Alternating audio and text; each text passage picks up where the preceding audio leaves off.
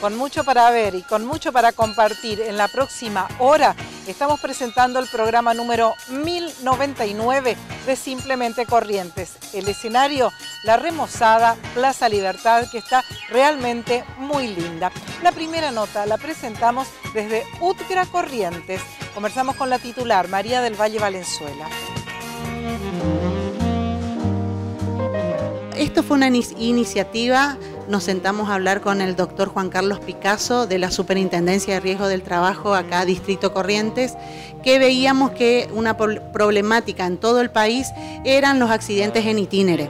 Entonces eh, nos pusimos de acuerdo y junto a la Mesa Unificación Sindical para una CGT de Corrientes eh, nos pusimos, charlamos y llegamos a un acuerdo de hacer esta primera charla informativa que estaba guiado a todos los trabajadores que podían asistir. Eh, estuvo a cargo del licenciado Sergio Levín, que vino directamente de Buenos Aires, acompañado por toda la cúpula de la Superintendencia de Riesgos del Trabajo, encabezada por el doctor Juan Carlos Picasso, que hizo un excelente trabajo, y nuestros compañeros de la mesa sindical. Eh, fue la primera que se hizo en el país, así que estamos muy contentos y orgullosos de ser Corrientes la sede, pero también es una problemática que todos tenemos que tener en cuenta porque los accidentes en itinere te pueden costar la vida. Saldo positivo para ustedes fue muy positivo.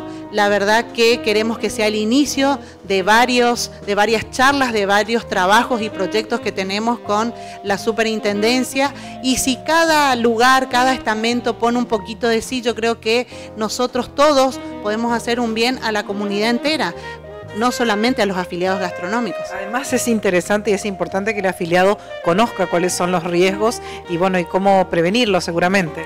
Sí, porque en estos casos eh, el 50% es la persona que te choca y el otro 50% tenemos culpa también nosotros. Somos imprudentes eh, en ciertas cosas que a veces no sabemos, o sea, no es que eh, hacemos a propósito, no sabemos cómo y cuándo tenemos un familiar que sufrió un accidente de tránsito en itinere, también se le da todos eh, los procesos que tienen que acompañar, porque hay veces no se cumplimentan ciertos requisitos y eh, siempre pierde el trabajador.